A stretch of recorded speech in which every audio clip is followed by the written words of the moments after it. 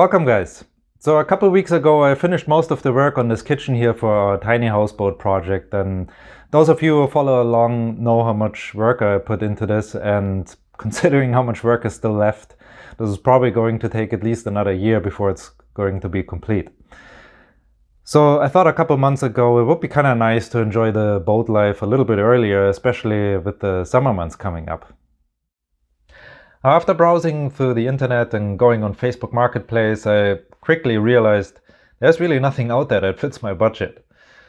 Now, even if you're willing to accept an old rotten boat from the 70s with a musty stench, then you still have the cost of the trailer, the insurance, and then of course you need something that is powerful enough to tow all of that.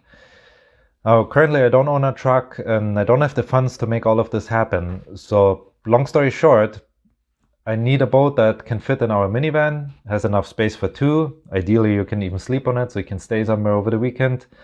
And all of that under my budget of $2,000 Canadian. And that has to include the motor because I'm too lazy to pedal.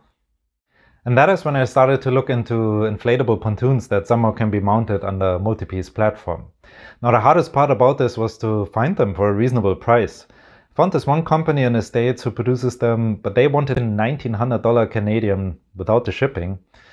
So that would have swallowed my budget right there. So I was forced to look around further and then I found another company on Alibaba. I'm not even going to try to pronounce this correctly, so I'm just going to put the name up there. And I was a little bit nervous about this. I never ordered anything on Alibaba before. But uh, let me tell you, those guys were absolutely fantastic. There was great communication going on, and they realized every single customization that I threw at them from the length of the tubes, the color, the um, amount of D-rings and the position of them, the reinforcements at the top and the bottom, the shape of the ends and an end. And all of that for only $375 Canadian plus $250 shipping. So that's only $625.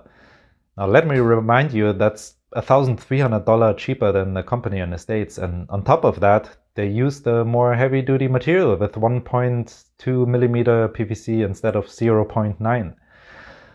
So if you're in the market for something like that, I really highly can recommend this company. Um, just be aware that the shipping might take a couple months. After all, it has to cross the North Pacific Ocean in a container ship. In my case, it just took six weeks and they did deliver right to the doorstep.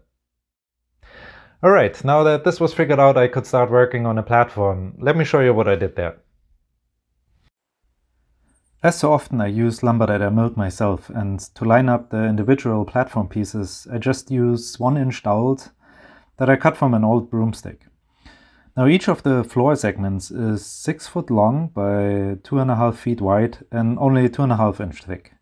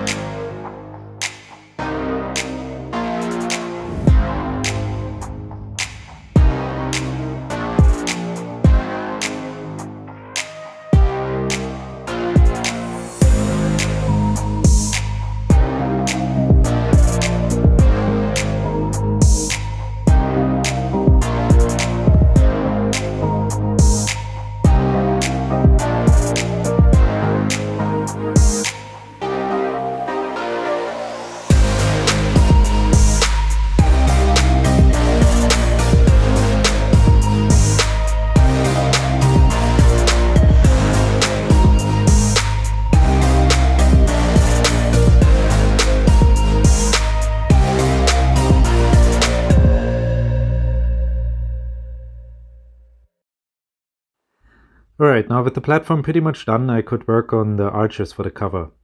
I'm using some pieces of scrap plywood and a screw to give me an anchor point to mark the arch with a string on a piece of plywood. And once I had an idea of how the arch is going to look like, I could use a smaller but thicker piece of plywood to make myself a jig.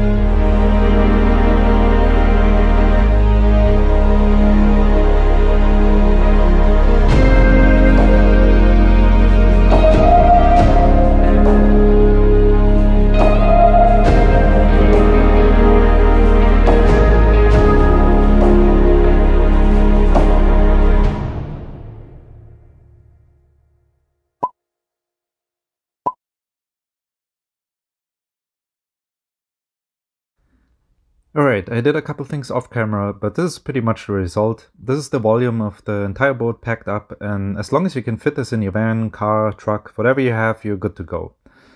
Now let's break this down real quick. So we got four pieces that make up the platform. Then there are of course the inflatable tubes, the framing for the top cover, and two super comfortable seats. Then we got a battery box that I built off camera, entirely made from scraps, and it contains two deep cycle batteries, then two paddles, they just help you to push yourself away from the shore or even to land on shore.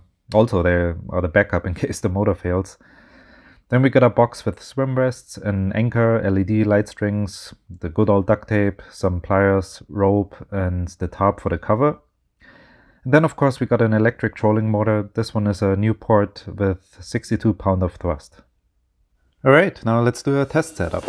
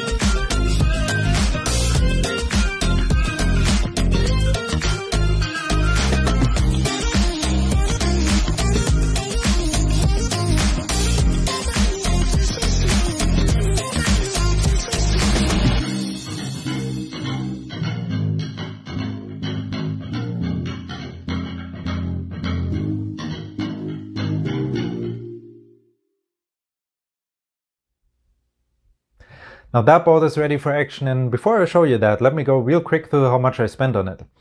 As I mentioned earlier, we got the $625 for the inflatable tubes, We got shocking $250 for plywood. I know plywood those days is not cheap anymore.